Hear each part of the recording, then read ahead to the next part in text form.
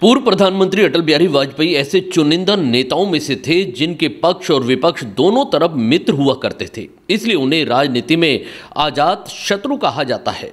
आज उनकी जयंती पर पूरा देश उस नेता को याद कर रहा है। उनके विचार और लिए गए फैसले आज भी प्रासंगिक हैं। पिछले दिनों जब मध्य प्रदेश में नई सरकार बनी तो विधानसभा से देश के पहले प्रधानमंत्री जवाहरलाल नेहरू की तस्वीर हटा दी गई थी। जरा सोचिए, अगर अटल होते तो क्या कहते? एक बार भरी संसद में उन्होंने नेहरू की तस्वीर का किस्सा सुनाया था। यह दो दशक से भी ज़्यादा समय पहले की बात है। संसद में वाजपेयी का भाषण चल रहा था। उन्होंने कहा था कि साउथ ब्लॉक में नेहरू जी का चित्र लगा रहता था। मैं आते जाते वहाँ देखा करता था। नेहरू जी के साथ सदन में नोक झोंक भी हुआ करती थी। वह मुस्कुराकर बोले, मैं नया था, पीछे बैठता था। कभी कभी तो बोलने के लिए मुझे वॉक आउट भी करना पड़ता था। वाजपेयी ने आगे बताया कि उन्होंने धीरे धीरे जगह बनाई। आगे बढ़ा और जब मैं विदेश मंत्री बन गया तो एक दिन मैंने देखा कि गलियारे में टंगा नेहरू जी का फ़ोटो गायब था। मैंने कहा कि यह चित्र कहाँ गया? कोई उत्तर नहीं दे पाया। वो चित्र वहाँ फिर से लगा दिया गया। यह सुनते ही सदन में बैठे सदस्यों ने मेज थपथपाकर उनका स्वागत किया।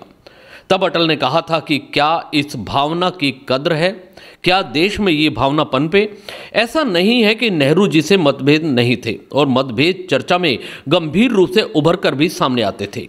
वाजपेयी ने उसी भाषण में कहा था कि मैंने एक बार पंडित जी से कह दिया था कि आपका एक मिला जुला व्यक्तित्व है। आप में चर्चिल है और चैम्बरलिन भी है। वह नाराज़ नहीं हुए। शाम को किसी बैंकेट में उनसे मुलाकात हुई तो उन्होंने कहा आज तो बड़ा जोरदार भाषण दिया आपने, और हँसते हुए चले गए। 1924 में आज ही के दिन भारत के पूर्व प्रधानमंत्री अटल बिहारी वाजपेयी का जन्म हुआ था। एमपी विधानसभा में नेहरू की तस्वीर हटाने पर कांग्रेस ने विरोध जताया, तब नवनिर्वाचित अध्यक्ष नरेंद्र सिंह तोमर ने इस पर निर्णय लेने के लिए विधायकों की एक समिति गठित की है।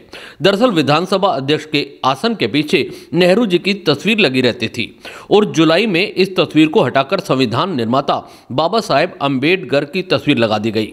वैसे भी भाजपा कई मुद्दों को लेकर नेहरू पर हमेशा आरोप लगाती रहती है।